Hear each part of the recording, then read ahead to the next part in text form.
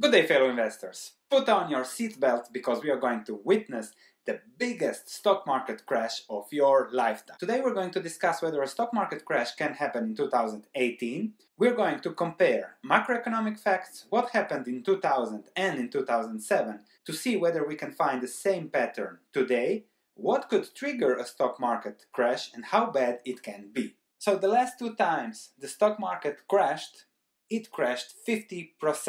The market peaked on March 10, 2000 when it became obvious that the extremely high valuations were impossible to justify and that the internet won't be profitable as hoped for. So if we look at S&P 500 valuations, those were above 45 in the 2000s.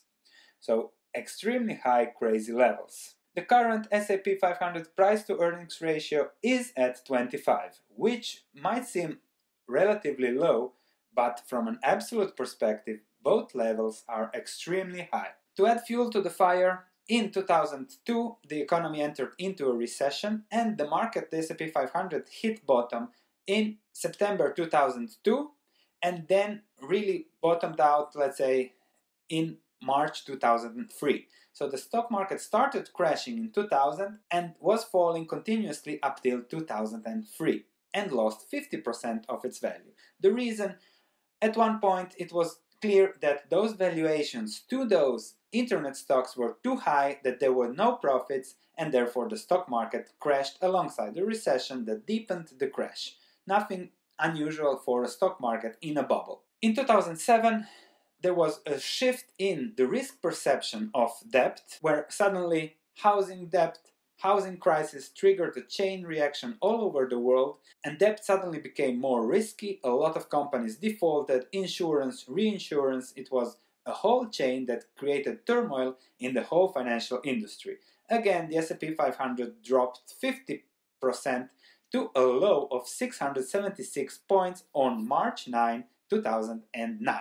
So in both cases, the reason behind the crash was excessive leverage in the form of equity in the dot com bubble and in the form of leveraged housing leverage in the 2007, 2008, 2009 financial crisis. So, so again, it was overexpanding, and then, of course, the system, the house of cards, crashes.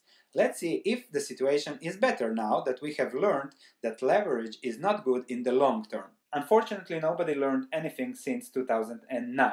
The total public US debt as a percentage of gross domestic product almost doubled. It was 60% in 2009 and now it is 103%.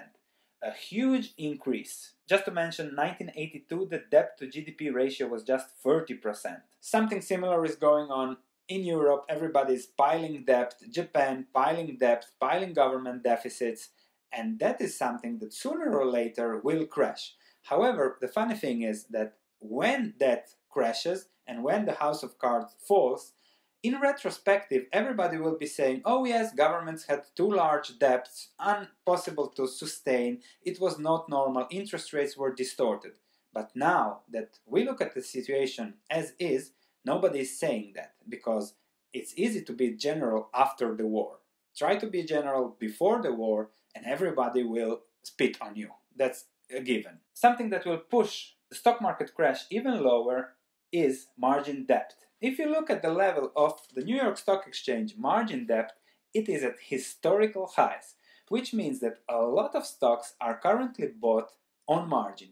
And that margin debt has even been diverging lately from the S&P 500, which means that when there is a correction, all those margin debts will be called upon and then if people don't have collateral, if people don't have liquidity, which is often the case with margins, then there will be forced sales and that will push the market even lower. Now, before digging into the potential triggers of a stock market crash, it is important to understand that the global economy is intertwined in incredible ways. If something drops in China, it has an effect in the US, in Australia, in Europe. If something happens in Europe, it has an effect all over the world because that's how the world is now interconnected. Let's see the first risk.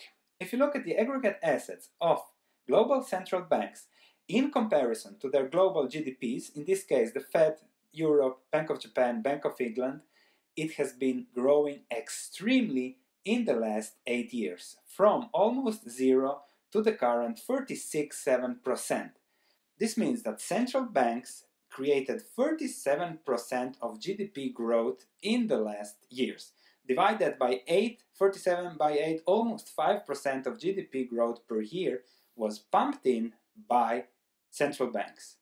If central banks start tightening, if central banks are forced to start tightening because of inflation, the house of cards falls, the S&P 500 goes down the drain. Mark my words. That, in combination with a recession, which would mean inflation, higher interest rates, and a recession where central banks lose control of the monetary environment, which is something very possible, and you don't even have to go back to the Weimar Republic to see how a central bank can lose control. You just go to 1970s and the US. This is the US inflation rate in the 1970s. 1974, 7%, 1975, similarly, 1980 it went up to 12.4%, 1982 it was again 7.4%.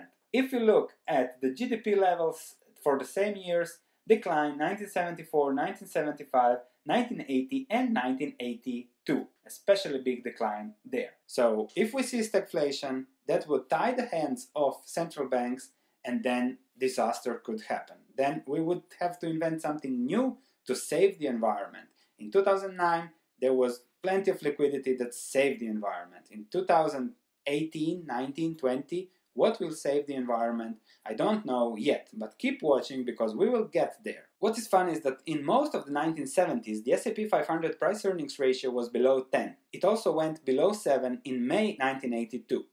At current S&P 500 earnings of 104 points with a price earnings ratio of 7, the S&P 500 would be at 700 points. So that implies a 74% decline from current levels.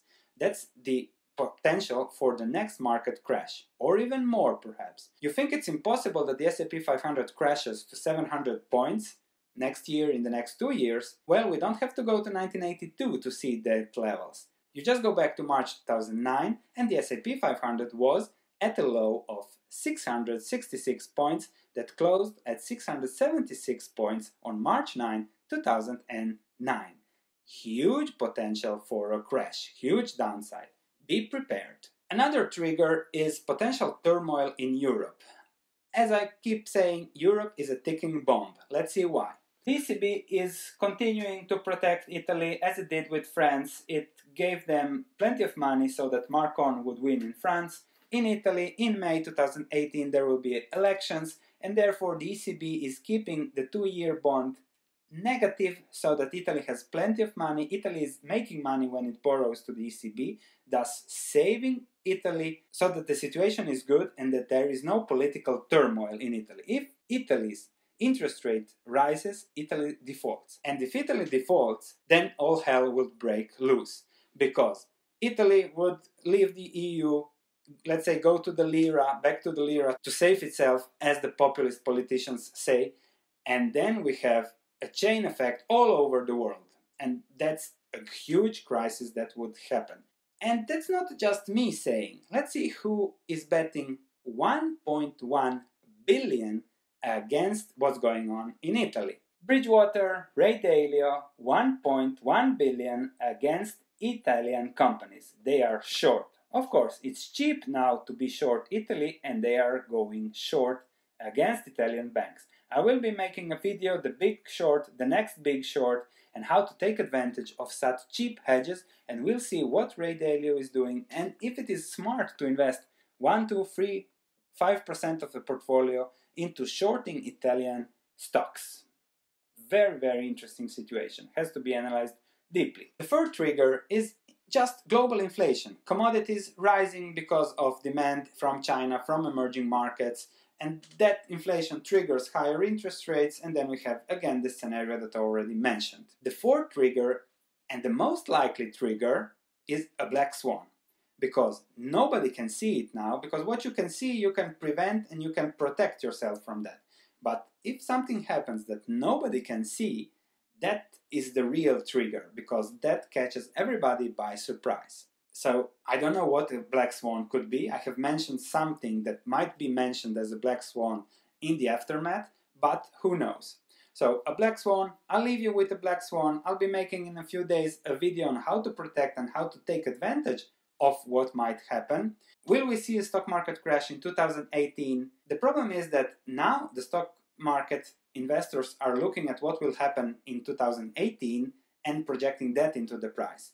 In 2018, they will look at what will happen in 2019 and project that into stock market prices in 2019. If there is turmoil, this is all a house of cards, don't forget that, and it could crash like that. So be prepared, be hedged, so that you can sleep well whatever happens. I think that's really extremely important in this market. That's it from me today. Look at other videos, looking forward to your comments, click like, subscribe if you haven't, and I'll see you in the next video.